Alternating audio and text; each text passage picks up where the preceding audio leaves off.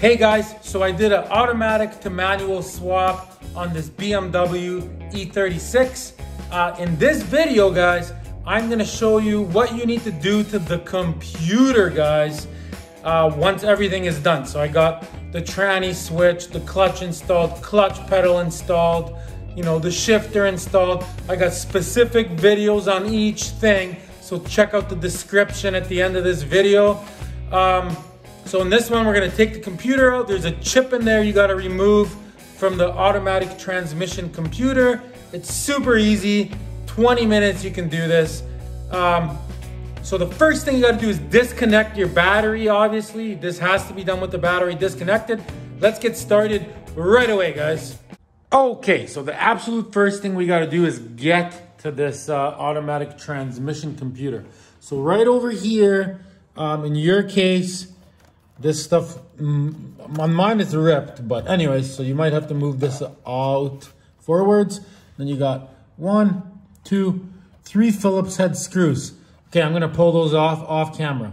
Okay, so I got the three screws out. See, they don't come out all the way. They kind of hang like this, but I noticed there's one more there. So check on yours in case your cover is a little bit different. Make sure you get them all. So once we got all three off, this will just kind of lean like this and come up. Uh, see, it's like in this like groove thing at the bottom. Okay, let me remove that screw and get this out. Okay, I got all three off. See, just like I said.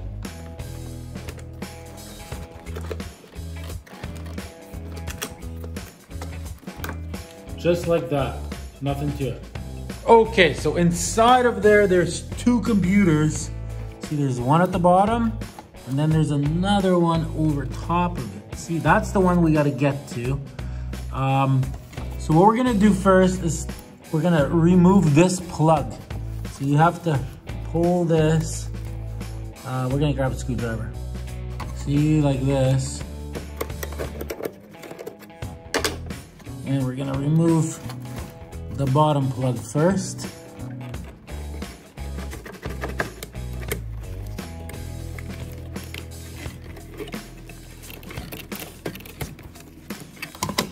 See, just like that. Get this out of the way. Oops. Okay, we got the plug aside and I've been using the shop vac in between takes if there was any dust, just to get all the dust out. So what we gotta do in order to get the top computer out, we gotta get the bottom computer out first. So see there's one Phillips head screw there and there's one on the other side, see it? So we're gonna remove both those Phillips head screws and that should allow the computer to slide forwards. Okay, so on each side of it, once I took the screws out, these were like, see, pushing down on there when you're putting it back together. Uh, there was one on each side, so I took them off. I put them like this. See, that's how they came out. So you don't want to mix them up, right? Like that. Um, okay, so now this thing is ready to come out. You can just reach in here. See? And so that's the bottom computer. That's not the one you're messing with. So obviously we're gonna shop vac all this, clean it up before we put it back in. Okay, bottom computer is out, guys, and all the wires that go with it. I took everything out. So now, see, there's the top computer. So we're gonna do the same thing. I won't be able to record it, but we're gonna put the screwdriver in. See, that is like uh, the plug. So we're gonna remove that plug right there and then take it right out of there. Okay, it wasn't super duper easy, but I had to kind of bring it out like this and I was able to get it out. So there it is. I gave it a good wipe. Um, okay, so now all the wires are out as you can see. So we got pretty good access in there. Okay, let me get the camera in there.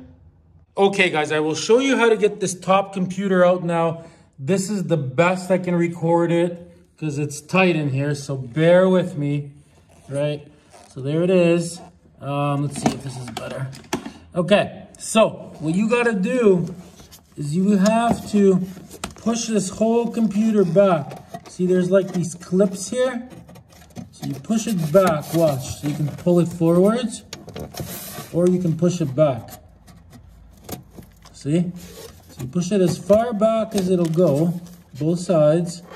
And then once you got it to that point, see, watch.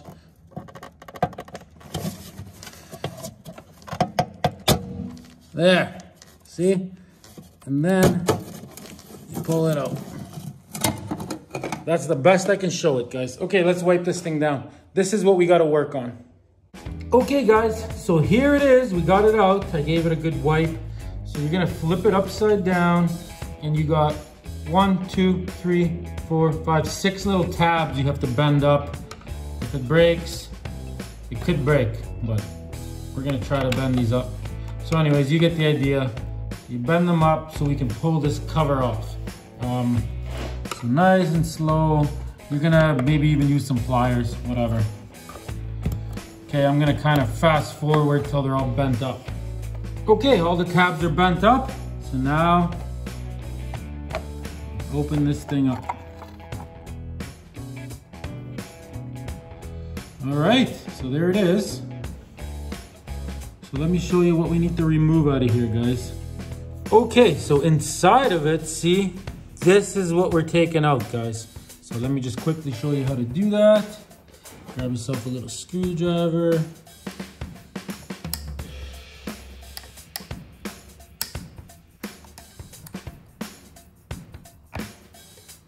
There, just like that. So I pry that side like this. Okay, one thing done. So this chip is what we need to pull out. See, it's like a plug. It just kind of pops out.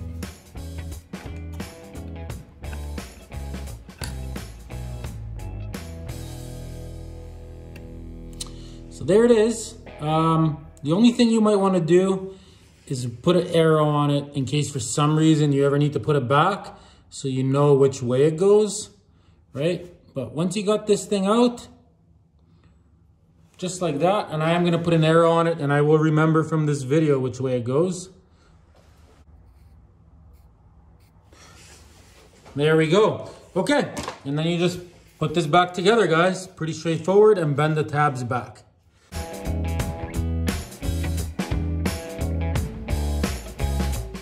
Okay, guys, and that is it.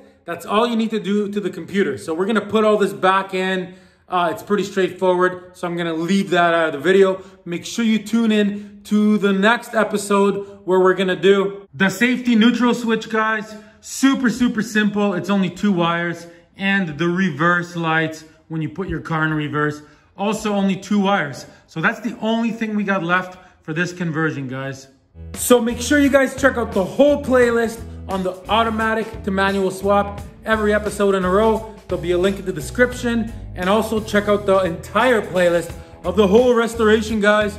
We're reupholstering the car, doing electrical motor stuff. Thanks for watching Problem Solver Garage, guys. Till next time, everybody.